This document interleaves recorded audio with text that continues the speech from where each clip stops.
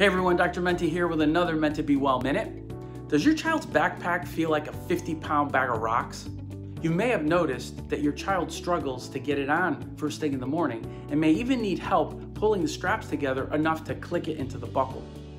Moreover, researchers and healthcare organizations are growing more concerned about the effects of the extra weight on your child's developing spine.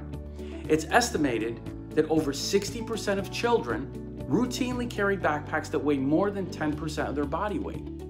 Now, for some children, that may mean that they're carrying a backpack that's nearly identical to their own body weight.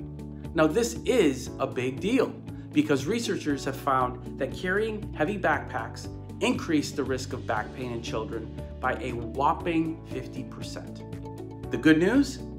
You've got their back. Focus on the ergonomics, focus on the fit and the packing. So you want to select an appropriate sized backpack, no wider than their torso. You want to make sure that it sits more than four inches below their waist. You want to use both straps to balance the weight and to ensure that they are, you know, snug so that the backpack doesn't hang too low. You also want to teach your child to place the heaviest items towards the bottom of the backpack and to use all the compartments so that you could distribute the load. Now, one benefit of the e-learning movement is that digital versions of these computerized uh, books are replacing these heavy textbooks. Now, unfortunately, uh, the long hours of e-learning are going to have challenges of their own, which you will soon find out.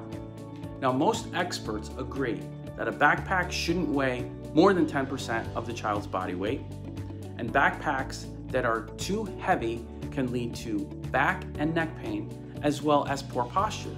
Now, if your child has developed poor posture or neck and back pain, please let us know. We'd be happy to evaluate their posture and their movement so that we can correct anything that's going on that isn't right and to obviously remove these concerns so that we don't have any problems in the future for them. Now, I hope that you found this helpful. Until next time, I'm Dr. Menta. Be well.